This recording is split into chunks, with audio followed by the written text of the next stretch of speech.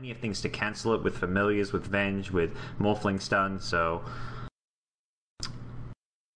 Bane, Bane definitely a pick I wasn't expecting. I guess he's actually going to go back in. He's going to charge Saniko now. He's using a Tango. If he gets a couple bashes, this could be a potential first blood. Trixie, one right click, two. No bashes just yet. He's going for another. He gets the bash. Saniko, he gets slowed though. He's not getting the second right click he needs. Oh, Trixie. Oh, he doesn't get the kill on that right click either. And the slows from a boss. A second charge. Oh my god. He's got the first blood. He's trying to juke around the trees now. He's kind of uh, playing with Havost a little bit here. Ring around to Rosie.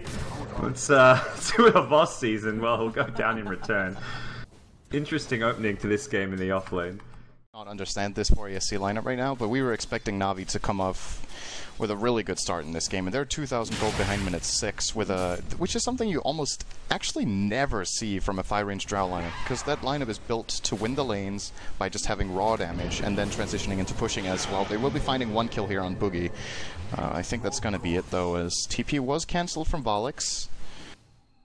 And Trixie yep. is Ooh, now left alone. mid lane gets uh, the stun off the waveform and Dendi. Oh, nice two hero RP. Is there a skewer backwards? There is. Nemphy has a skewer, no mana for a shockwave, and he stays alive. And with the TP in from the jug, the Omni Slash kill goes on to Dendi, and DK Phobos getting charged here. Four anchors just reading Navi so well here. Trixie with the GG bash. Instant pause. if this was a pub game, he writes question. Alright, break it breaker, breaker, breaker, breaker. Let me... Can you hear me? Okay. Yes. Can you hear me? Yeah, I can hear you. You sound pretty okay. good. Navi 5 man. Dire's middle tower is under attack. Yeah, well, they're gonna have to do something. Here comes the charge onto Wolf. Oh, they missed the skewer. Oh. Trixie now in trouble. He gets swapped back in as well. This will be an easy pick off for Navi. The waveform forward from Phobos gets the big stun onto Nemphy.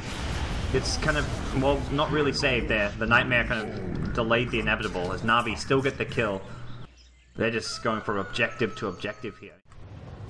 And hey, easy racks. Alex can be forced in, gets uh, silenced up, and there's your repel Juggernaut. He'll actually take out those familiars, which Saniko couldn't resummon while Nightmared up, but small victory for your Matumba.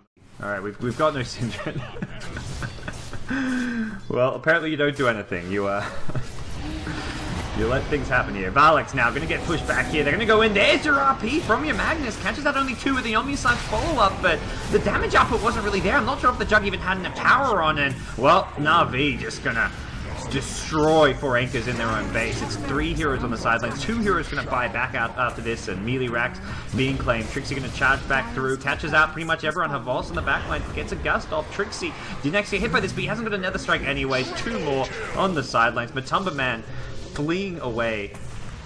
And Navi look like they may have game one secured. Hopefully for the better, so I can try to get Sin back in action. As we will see the tier 3 tower at middle lane being brought down. I'm getting new new new TeamSpeak information from Synderen. We'll uh, get back into that one just a second here. Nemphy going to be uh, pressured out of this lane. It looks like, I imagine GG Cole coming any second now. Four anchors just getting out DPS. Navi, second lane of Rax. GG is called.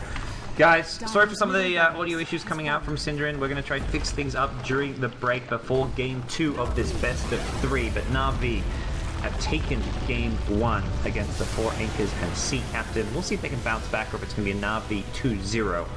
So guys, stick around. Don't go anywhere. We're going to fix up some of these audio issues and hopefully bring you a crisp sounding game two. I'm God, joining me with Synderen. This is the Summit 3 by Gigabyte.